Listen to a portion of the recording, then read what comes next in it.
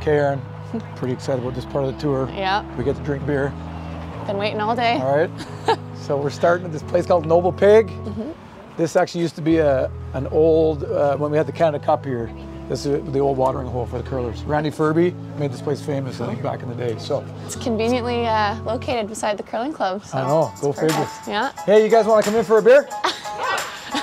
We're buying. Come on in. Thank you. To our first uh, brewery stop. Let's hope we make the last one.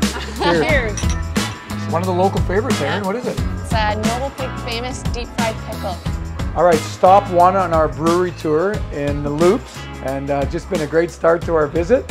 Uh, wonderful atmosphere, and uh, I guess we get to go down this main street. It's a really trendy looking main street. Like I think this, this town has a lot of great energy and vibe to it. Where to next?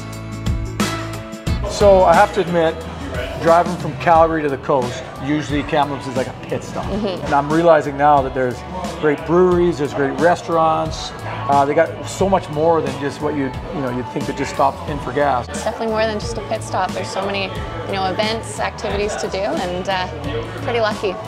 Well, Erin, another hidden gem in Canada's tournament capital, You bet. and uh, those nachos, best nachos I've ever tasted. I think. Deadly, yeah. Great recommendation. Mouth's Yeah. still a bit on fire, but yeah, we're those, good. those banana peppers really pack some punch. But Yeah. yeah, so we're about halfway there. Feeling good. Yeah. We got a wonderful tour guide right here, Terry. Keep us going. All right, the night is still young. It is. We're here at the Bright Eye. Fun doesn't end. It's never ending here in Kamloops.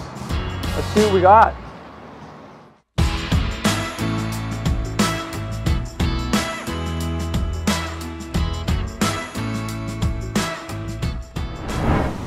So where are we going to eat tonight, Erin? Yeah, so one thing about Kamloops is we've got a ton of locally owned ethnic um, cuisine restaurants, and so tonight we're actually going to one of my favorites. We're heading to uh, Jacob Noodle and Cutlet.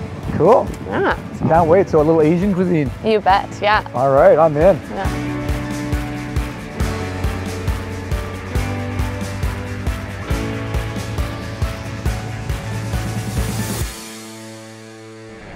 Tonight the Sheepdogs are playing. So uh, always one of my favorite bands. Have you seen them before? I haven't, but uh, Canadian Canadian band, right? So Yeah. cool. Let's go check it out.